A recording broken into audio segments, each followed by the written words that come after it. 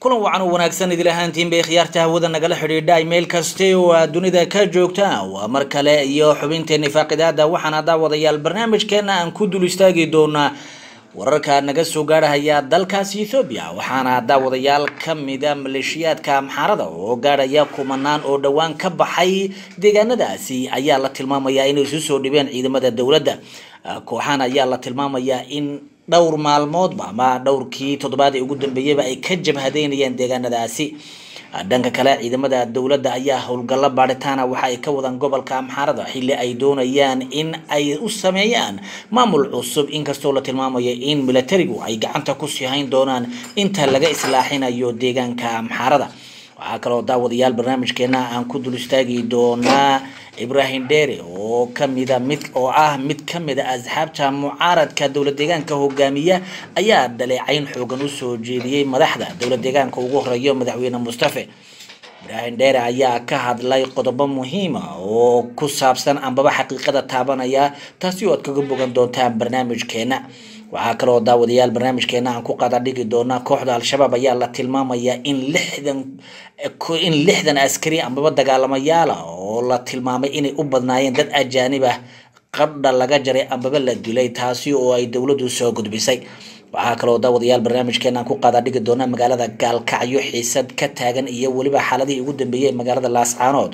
ee gobolka sool ayaan daawadayaal sidoo kale ku qaada dhigi doonaa waa mar kale iyo xubinteeni faaqidaada waxaana barnaamijka igala qaybgelaya bidhaan iyo weliba saaxiibkay ninka lagu magacaabo shido oo inta badan ka faallooda xaaladihii ugu dambeeyey ee dalkaasi ethoobiya waxaa kaloo daawadayaal stuudiyaha igula sugan saaxiibkay gooni oo laftigiisu ka hadli doona xaaladihii ugu dambeeyey ee koonfurta soomaaliya. Waan idin soo dhaweyneynaa waxaan la rajayneynaa saaxiibayaal inaad baraha bulshada aad ku faafisaan oo aad la wadaagtaan saaxiibadiina si uu meel dheer u gaadho. Aada iyo aad baan idinku mahad celinaynaa.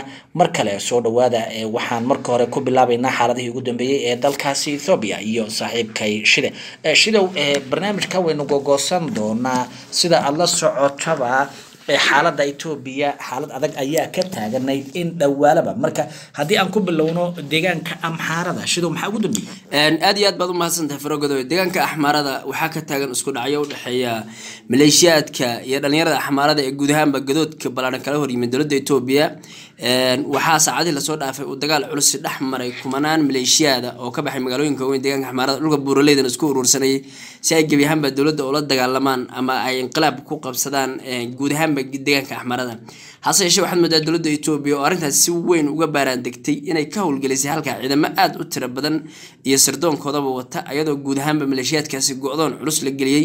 Saacadihii la soo dhaafay waxaa issoo dhibay boqolaal ka tirsan maleeshiyaadkaasi oo gacanta lagu dhigay ayagoo hubkii iyo uniformkiiba laga siibay kadibna nin walba gurigiisa loo diray.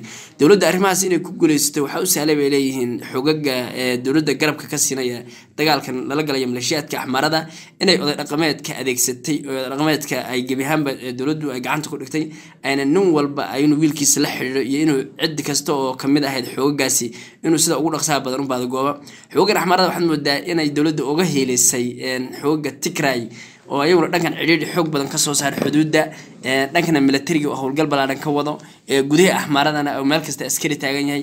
Marka xaaladda waxaad moodaa gebi ahaanba inay fashilmeen baad moodaa maleeshiyaadka axmaarada oo saacadii la soo dhaaf iska caabin aada u ballaaran waday si raxan raxan ayay isu soo dhibeen. Ciidamada dowladda waxay sheegeen guulo waaweyn inay ka gaadheen iyadoo golaha amniga iyo milatariguba ay si saacad saacada u filan kolba xaaladda qiimeynayaan. Marka waxaad moodaa gobolka axmaarada inuu gacanta gali doono milatariga iyadoo guud ahaanba maamulka axmaarada uu meesha ka baxay wax maamul ah ka shaqeynaynin. Dowladda etoobiyana aada moodid halkaasi inay howlgal caalami ah ka fulinayso. Khasaaruhu aada buu u badan yahay isku dhacyada dee dagaal hadduu dhaco kulley waxba uu khasaara soo uu salfanayaa. Marka milatarigu aada iyo aad bay u dadaaleen waxayna isku dayayaan inay gebi ahaanba abaabulka iyo kacdoonka ka taagan gobolkaasi. Waa gobolka axmaarada. Inay fashiliyaan aynay ku guuleystaan si fudud inay gudahanba gacanta ugu dhigaan maleeshiyaadkan aan loo kala diro aada iyo aad baad u mahadsan tahay shidow gobolka amxaarada in dhawaalaba waxaa ka taagnaa khilaaf u dhexeeya qowmiyadda oo ay ku diidan yihiin xukunka ra'iisul wasaare abiy axmed iyagoo doonaya in ay qabsadaan ama inqilaab ay ku wareejiyaan. Haddaan u soo gudubno dhanka dowlad deegaanka soomaalida shidow waxaa jira in ibrahim dheere oo mid ka mid ah hogaamiye asxaabta mucaaradka ee dowlad deegaanka soomaalida ugu tunka weyn waraysi dheer uu bixiyey oo siiyey. Mid ka mid a telefishinada ayuu aada iyo aad wuxuu ugu dhaleeceeyey maamulka uu hogaaminayo madaxweyne mustafe haddaba haddii aan soo qaadano qodobadii uu ku eedeynayay mid iyo labo ee maxaad ka xasuusataa oo uu ku tilmaamay? Ibrahim dheere waxa uu yidhi anagu taarikh dheer burda ibrahim dheere akhriyey iyo etoobiya ka mid ahaanshaha soomaalida iyo sida ay etoobiya ula dhaqantay maamulka hadda jira iyo maamuladii hore differentiga u dhexeeya ayuu ka hadlay iyo waaqaca hadda dowlad deegaanka soomaalida iyo dadka soomaalida wax la gudboon iyo meesha ay etoobiya wax u wado iyo sida dowlad deegaanka soomaalida laga damacsan yahay. Ibrahim dheere wuxuu gorfeeyey maamulka mustafa maxamed cumar ayuu si weyn u qiimeeyey isagoo ku sheegay in ay yihiin caruurtii daafiga lagu soo koriyey. Uu sheegay maamulkan waa caruurtii wuxuu yidhi intii ay etoobiyana haysa soddonkii sane. etoobiyana haysatay caruurtii qaan gaadhay ee guumaysiga la kortay ee xabsiyada ku kortay ee cabsigelinta u soo joogtay ama abayowooda la xidho iyo waalidkooda la xidho u soo joogtay ee dhiganaysa iskuullada iyo jaamacadaha ee qaabka guumaysiga la liqsiiyey ee garwaaqsaday etoobiya caruurtiiba hadda xilka haysa yiri marka caruurtan wuxuu yidhi wax kasta oo etoobiya ka yimaada ama awood kastoo ka soo korodha ma diidi karaan waxayna liqsan yihiin etoobiya etoobiyaana wax labay aaminsan yihiin ciddi ka hortimaadana in la dilayo ama la cunayo ama aan la arkaynin yay aaminsan yihiin buu yidhi. Hase yeeshee wuxuu sheegay dadka asiga da-diisa iyo dhalinyaradii waqtiga asaga ku soo dhawaatay inay aaminsan yihiin wax soomaalinimo iyo wax halgan iyo in wax la iska celin karo waxna la diidi karo waxna la yeeli kara ay aaminsan yihiin buu yidhi. Hase yeeshee kuwan mustafa maxamed cumar uu kow kaga yahay buu yidhi kuwa waxna diidi kara waxna ayagu wax diidima ma yaqaanaan mana diidi karaan buu yidhi. Sababtoo wax lagu soo carbiyey buu yidhi oo wax lagu soo koriyey. Marka wuxuu yidhi xaaladda dowlad deegaanka soomaalida haddaan kuwan hadda la iska xoreyn oon ayaga la iska qaban oyna dadku u tashanin oyna dadku si cad uga hor imanin wuxuu yidhi meel waxaa la gaadhi doonaa aan luuqadeena af soomaaliga xataa aan ka tagno. Maxaa yeelay buu yidhi soddonkii sano etoobiyana haysatay halgamayaal soomaali ah jiray oo u halgamayay si aan dadkan luuqadooda looga bedelin diintooda loo bedelin caradooda iyo ciidoodana aan loo qaadan iyo dadkoodana aan loo hebaso aan loo bedelin marka maadaama kuwii hadda taagnaa aan jirin kuwii baan marka hadda hogaanka waxaa noo qabtay kuwii ayaa ku soo koray iskuullada iyo xeryaha daafada ku soo koray ayaa hogaanka inoo haya marka dadka soomaalidu baraarujinayay wuxuuna sheegay in xaaladda dowlad deegaanka soomaalidu ay tahay mid aad u adag god dheer ku sii dhacaysa aanana la mahadin doonin haddaan loo helin dad dhiig nadiifa qaba oo u istaaga waxaa jira shidow inuu ka hadlay qodobada xabad xabad baan u dul istaagi doonaa.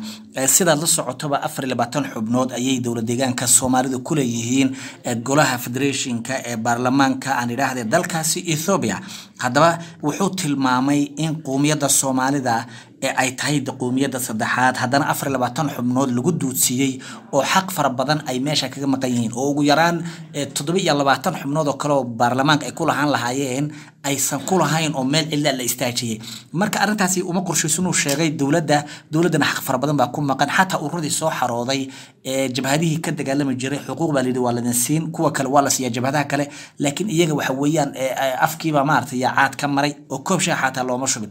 Dhanka kale waxa uu ka hadlay उहाँहरूलाई oo uu tilmaamay in madaxweynaha lagu bahdilay golaha xisbiga e b b oo uu tilmaamay in golaha dhexdiisa lagu sheegay in madaxweynaha iyo xukuumaddiisaba ay lacagaha dhoofiyaan oo lacagaha doolar u sarriftaan baa lagu eedeeyey mana uusan ka hadlin. Qodobo kalaa jiray. Marka bahdilaada intaa leega madaxweyne mustafe iyo maamulkiis inkastoo ay run tahay oo lacagta ay sarriftaan oo musuqa ay noqotay xukuumadda madaxweyne mustafe xukuumadda koowaad ee musuqa ku caanbaxda ay noqotay oo wajaala la yaabay de waxa laga dhoofinayo haddana soo lama dhihi karo ibrahim dheere run buu ka hadlay soo lama dhihi karo. Ibrahim dheere waxa uu ka hadlay waa run waa wax jira waa wax maamulka dowlad deegaanka soomaalida mar eed loo soo jeediyay ishi durna dhahan. Maba diidi karaan kamana hadli karaan. Xataa madaxda dowlad deegaanka soomaalida xuquuqdooda ayayna difaacan karin. Dulamka ayaga laga galay ayayna difaaci karin oyna dhihi karin. Muwaadin baana waxaasi uma qalmi dembigaana ma gelin ma hadli karaan. Mustafa maxamed cumar iyo xogagiisa haddii la maanta waa inay soo xirayaan. Hayaha nala soo xirma gacman bay horsanayaan. Gaasha waaye ma diidi karaan. Marka dowlad deegaanka soomaalida xogagaas ayaa hadda gacanta ku haya xagga xuquuqda aan u laabana wuxuu kaloo sheegay intaa kaa dhexgalay wuxuu kaloo yidhi shirki e b b ee lagu guddoonsiinayay e b b yaana dhihinaya buuggii lagaga hadlayay. Ayaa lagu yidhi waa in aad halgamayaashii xabashida u dhistaan taallo. Ishii buurigaashi ishtaas dowlad deegaanka dhuma ka jirtaa hadda xoogaga xilka haya qabale ilaa degma ilaa magaala madaxda dowlad deegaanka soomaalida waa ishidaa un waa dadka ishida ku soo koray.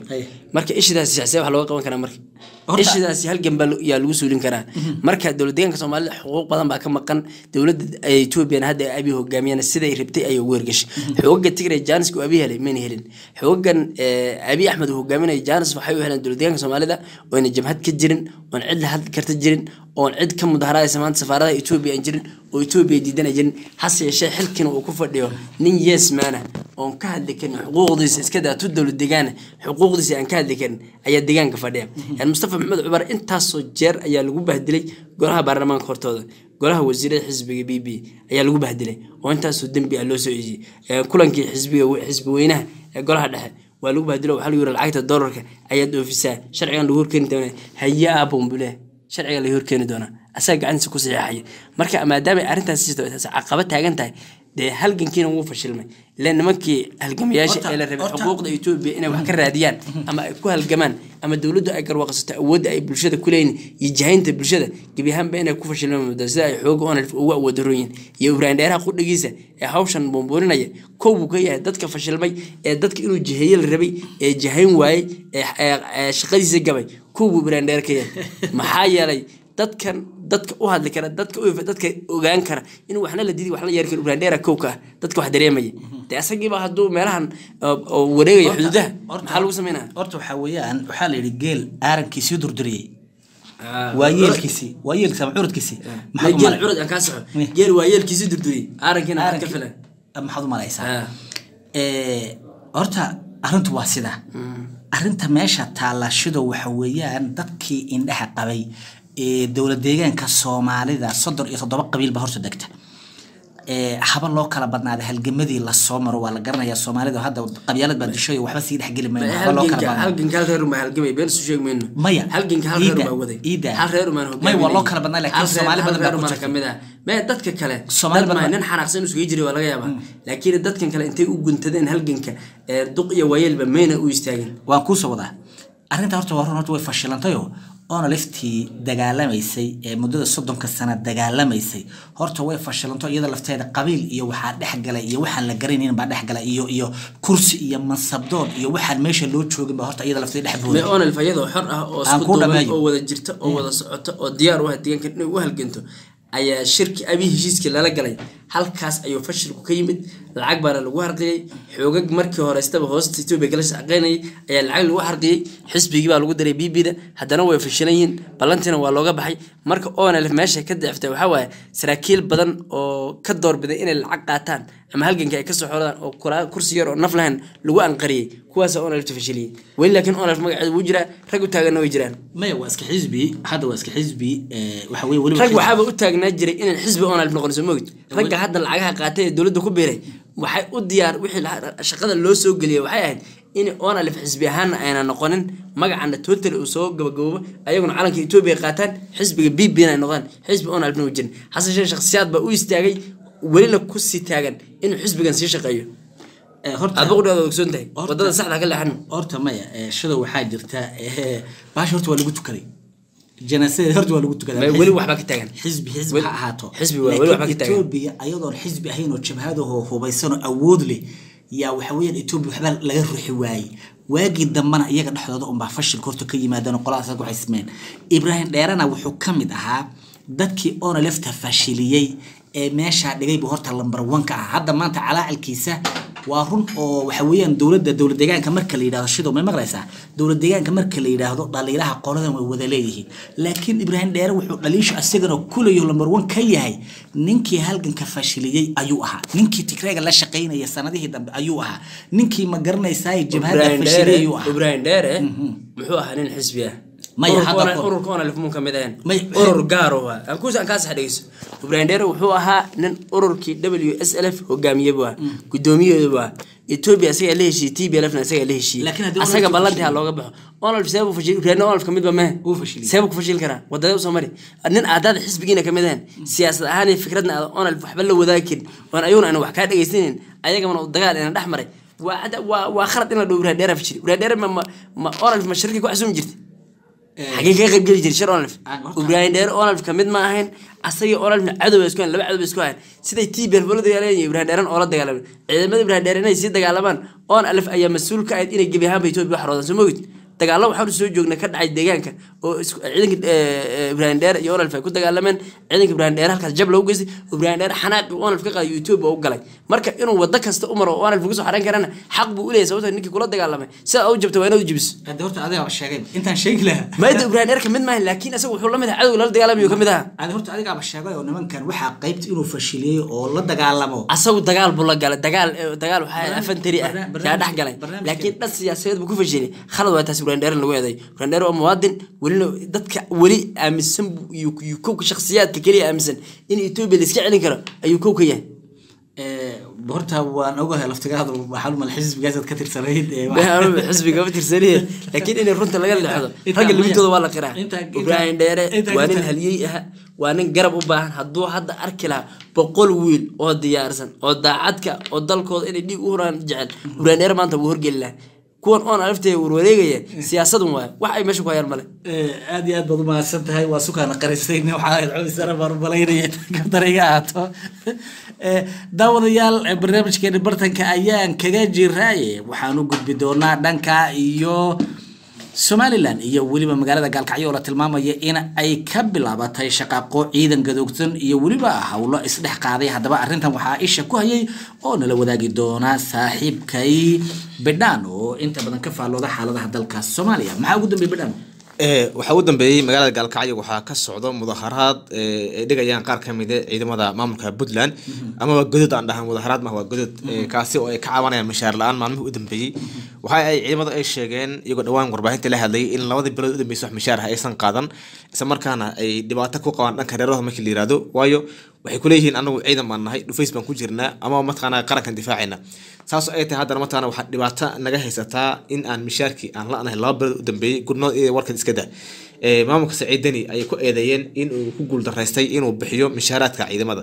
Marka godoodkaasi waxuu ka dhacay magaalada gaalkacyo oo dhowaan mataqaana ay mudaharaadkaasi ay dhigayeen Eh, gadoodkaasi ay dhigayeen ciidamadaasi dhanka kale eh, waxaa haddii aan tan dhankaasi laascaanood iyadana waxaa ka socdaa eh, diyaargarow oo dhanka eh, dagaalka ah oo labada dhinac mataqaana ay isku diyaarinayaan dagaalka inay ka qayb qaataan.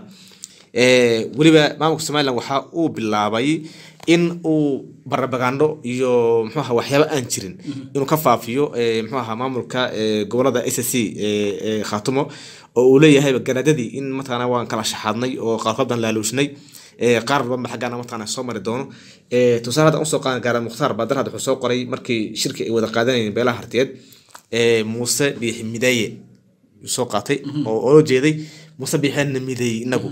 Waayo marka hore maana mideysneen tii marka waxay u qaateen marka in muuse uu mataqaana la midoobay ninkan oo xaggaas ayay u qaateen marka way kala qaadqaadeen tii marka waa laga hor yimid oo mataqana reer s c waxay dhaheen waxaas wax ka jiro. Ilaah oo mataqaanay ma lahan Eh, reer s c say u midoobeen ahaanayaan wax ka maqanna maanta ma dhanka kale ciidamadu waxa ay ballan qaadeen in ay halgankii iyo dagaalkii ay wadeen inay sii wadi doonaan. Ee howshoodina meesha ka sii socon doonto. Marka amar la siiyo oo dagaal inay qaadaanna ay qaadi doonaan.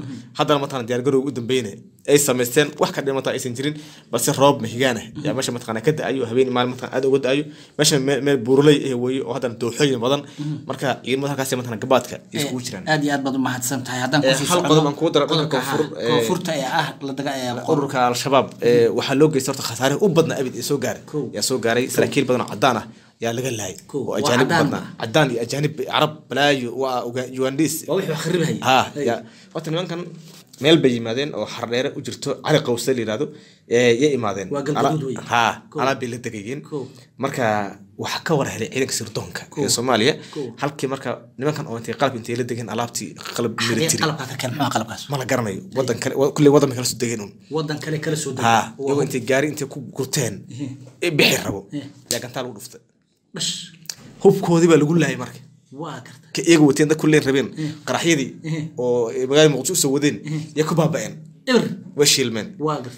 Lixdan baa yaa laga tiriyey sidii mataqaana uu hadda dhawaan uu warbaahinta uu sheegay odowa oo bixi uu sheegay iyo gudoomiyaha gobolka mataqaana ee ee, muxuu xaradheerasna u sheegay dhanba. Waa gartay ee, lixdan ba halka ayada yaa ku nafweyday marka khasaaro waxaa soo gaaray naf iyo maal intaba leh. Ajaanib waayo dadkaasaa ajaanibta keenaan oo wax isku xirxiraan bay dadka u dhiibi jireen oo magaalada gelin jireen. Wixii baa lagu baabi'iyey. Marka hadda sirdoonka dowladda iyo kan kooda kan dowladda bariga ka xoog batay waayo dadka deegaanka hadda waxay arkay in iska celin kareen nimankan iska dulqaadi karo. Marka shabaab gobolkooda matana wuu dhacay. Waxayna u badan tahay dhawaan in laga takhaluso aada iyo aad baad u mahadsan tahay. Daawadayaal xubinteenii ayaan ku jiraa qeybihii dambe waxaana barnaamijka igula sugan oo qeybta dambe aan ku soo dhaweyn doonaa saaxiibkay gooni oo inta badan ka faallooda xaaladaha dalka soomaaliya. Haddaba daawadayaal waxaan ku qadaan dhigi doonaa hadduu rabbi idmo qodobo kale oo inoo hayo saaxiibkay gooni. Gooni maxaad inoo haysaa horta fargood waa mahadsan tahay odawaa yuusuf raage ayaa maanta ka hadlay idaacadda telefishinka qaranka. Waa taliyaha guud taliyaha guud ee ciidamada xoogga. Wuxuu sheegay in dagaal aada u qarar maanta shabaabka oo ku dhex maray iyo dowladda. Deegaan lagu magacaabay elqaboobe ceelqaboobe oo soddon kilomitr u jirto magaalada xaradheere sidaan wararkeena hore u sheegnaba faahfaahin dheeraad ayuu ka bixiyey. Waxaa noo taabtay sidoo kale ee- ee bidhaan baa noo taataabtay laakiin noo faahfaahay haa marka lixdan qofood oo shabaaba lagu dilay. Saraakiil ajaanib ah ayaa qaybna la qabtay qaybna la dilay qaar qaar gacanta lagu haya iyagoo nool. Kuwa saraakiil ajaanib ah iyo kuwa maxaa la yidhahdaa een, caadi oo soomaali ah. Intaba gacanta lagu dhigay. Lixdan qofoodna oo caadi oo ciidamadii ahaa kow ay laga siiyo meesha lagu dilay. Waxay sheegeen marka dadka inay naxdin la kulmeen. Markay arkeen muuqaalka ragga meesha lagu dhameeyey muuqaalkooda nin naf ku jirto kuma jiro. Qoryaha xataa ma qaadi karaan. Marka dad dadka saas dadka u leynaya wax nolol ah iyo wax raashin ah iyo wax daryeel ma haystaan. Waa dad. Een aad u rafaadsan. Marka wuxuu sheegay bal kuwana wuxuu sheegay marka qaar waxaas dhan yiri kuwan maxaa ka leyseen waa kuwa la qabtay. Kuwa la laayay. Kuwa la laayay. Ha marka kuwa la qabtay naftiskooda muuqaal fiican ma lahayn laakiin waa rag xoogaa saraakiil ah. Oo rag sarsare ah. Marka muuqaalkooda ka yara duunaa kuwa kale. Marka een, meeshaas ayay dhibaatadaas ka dhacday. Laakiin ajaanib bay u badnaayeen baa la leeyahay ha ajaanib hadda waa la gelbinaya sooma meelo kale la raba in dhanka xeebta meelo dhowdhow meesha laga gudbiyo meelahaas yemanaya inay u baxsadaan. Marka een, aada loo dhameeyey kuwa cusubna hub- gacanta lagu haya hubkan iyo waxyaabahan faraha badan ee la soo geliyay ay keenaan rabaa inay noqdaan. Aad iyo aad ha. Teeda kale gaari oo weyn oo la raba in magaalada xardheer lagu qarxiyo oo hub iyo balaayo laga soo buuxiyey iyo qarxiyo ayaa gacanta lagu dhigay asagana oo ciidamada dowladda gacanta ku dhigay. Marka waxaa malaysaa shabaabka in la fashilinayo een, arrintoodan isku soo dhamaatay. Xasan maxamed wuxuu sheegay in facebooka la geli doono dagaal aad u qaraarna oo ka dhici doono gebi ahaanba soomaaliya loogana xoreyn doono shabaabka aad iyo aad baad u mahadsan tahay ee, gooniyow ee, maxaad ino kalood inoogu dari lahayd? Qaybtii ugu dambeysaan soo gaadhay Een, horta eh, waxaan ku dari lahaa dowladda federaalk soomaaliya oo aad u taageertay s c. Ayaa aad loo hadal hayaa. Waa gartay. Een, waxaa la leeyahay xasan sheekh maxamuud wixii laga filayay. Hadda ayuu muujiyey. Maadaama uu cadeeyey in shabaab baalka nimanka la s c aan lagu qasbi karin ay soomaaliya ka mid noqdaan. Maamul gaar inay samaysan doonaan ogtahay mar haddii dhanka puntland laga taageeray oo dhanka waxaa dowladda soomaaliya laga taageeray beesha caalamku ay taageertay anisa kiikii gabadha la yidhaahdo oo ku-xigeenka qaramada midoobe asaaka ee codsatay in ciidamo la geeyo magaalada lascaanood oo ciidamada dowladda ay yihiin ciidamada dowladda federaalk ka socda la geeyo. Waxay sheegtay in waqtigan kadib wax laysku fiirsado meesha aysan jirin. Marka waxaan u maleynayaa ciidamada dowladda in laga deji doono gooja cadde Ee, marka sooma muuqato in maamulka somalilan ee soddonka sano la soo dhisayo gooniyow in washamsi lagu qaadayba haa xasan sheekh maxamed hadda waxaa leeyahay dhabarka ka toogtay ninka la yidhaahdo een, muuse biixi dhabarka hadda waa dhabarka meesha ugu darneed ka toogtay. Haa sababtoo ah wuu dhabar jibiyeba Haye. muuse biixi filan beryahan waxaa wada irir soomaali la yidhaahdo oo la rabay in maxaa lagu dhabar jibiyo s c. Laakiin xasan maxamed wuxuu sheegay nin calanka soomaaliya wada. Iyo nina calanka soomaaliya wadin. Inaysan weligood sinmayn marka wuxuu sheegay calan wax la dhoodhoobay iyo wax ma- muuqdo. Qofka qof qaadanaa ma jiro yar wax la dhoodhoobay. Wax muuqdaan ujeednaa uu yiri. Marka waxaan u malaynaa muuse biix cabdibirtis ku dhacday inuusan ka soo waaqsan doonin meel walba oo maxaa la yidhahda ummadda ay joogtana soomaalida iyo maxaa la yidhahda qurbaha iyo meel walbaba waxaa laga taageeray s c waana dad dulman dhulkooda lagu weeraray waxayna ballan qaadeen beela cusub ayaana ku soo biiray dagaalka s c oo maanta een, beela cusub ayaa ku soo biirtay waxayna sheegtay inaan gooja cadal sii fadhin doonin laakiin ay ka dhowr sugayaan odayaasha maxaa la yidhahdaa een, een, ku sugan magaalada hargeysa ee beelaha hawiye iyo digli mirafle. Markay ka soo dhammaadaan wada hadalka muuse inay kadib weerar qaadi doonaan xoogna looga saari doono muuse cabdi iyo tiimkiisa inaan dib dambana loola wada hadli doono fargodow. Aad iyo aad baad u mahadsantihiin dhammaantiin daawadayaal xubinteeni faaqidaada inta ayaan ku soo gabagabaynaynaa intaan dib dambe ugu kulmi doono. Midkan mid la mid ah waxaan idinkaga tegaynaa anagoo isku duban sidaa iyo nabadgelyo